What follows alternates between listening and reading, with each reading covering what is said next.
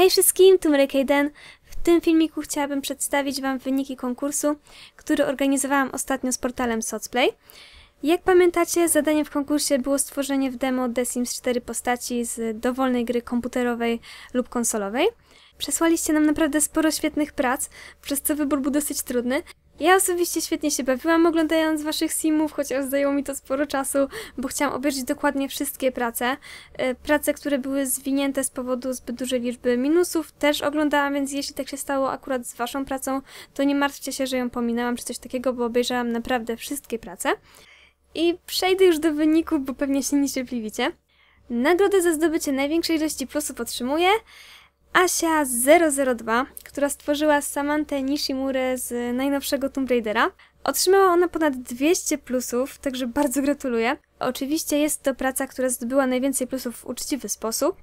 E, Niestety zdarzały się też osoby, które próbowały oszukiwać, ale takie próby oczywiście zostały przez portal wykryte. Także gratuluję takiej ilości plusów. E, Mnie również ta simka bardzo się podoba, więc jeszcze raz gratulacje. Kolejnym zwycięzcą, a właściwie zwyciężczynią, tym razem wybraną przez portal Socplay jest Alsums. Jeśli przeczytałam źle twój nick, to przepraszam, ale nie jestem pewna, jak chciałabyś, żeby się go czytało. Która stworzyła Clarę Lil z gry Watch Dogs. Widać, że twórczyni poświęciła dużo pracy i wykazała się kreatywnością w wyborze postaci, także również gratuluję, bardzo ładna simka. I jeszcze praca wybrana przeze mnie. Kolejnym zwycięzcą jest Edek, Edek, Edek, który stworzył Crazy Dave'a z gry Plants vs. Zombies.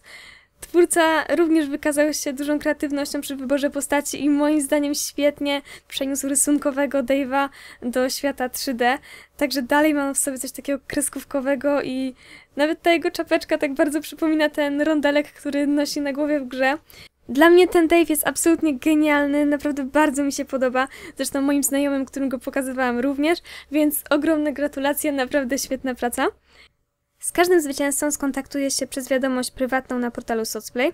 Do tego celu wyślę Wam zaproszenie do znajomych, także proszę, abyście je przyjęli.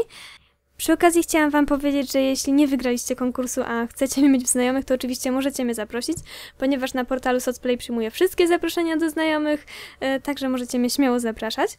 A wracając już do zwycięzców, to właśnie w wiadomości prywatnej ustalimy, jaką nagrodę wybieracie, czy to będą właśnie The Sims 4, czy może wolicie inną grę, i czy właśnie w formie pudełkowej, czy klucza do aktywacji. Także to już by było chyba wszystko w tym filmie. Jeszcze raz razem z portalem Socplay gratulujemy zwycięzcom i dziękujemy wszystkim za wzięcie udziału w konkursie i przesłanie nam tylu świetnych prac. Więc do zobaczenia w kolejnych filmach i na portalu Socplay. Pa pa!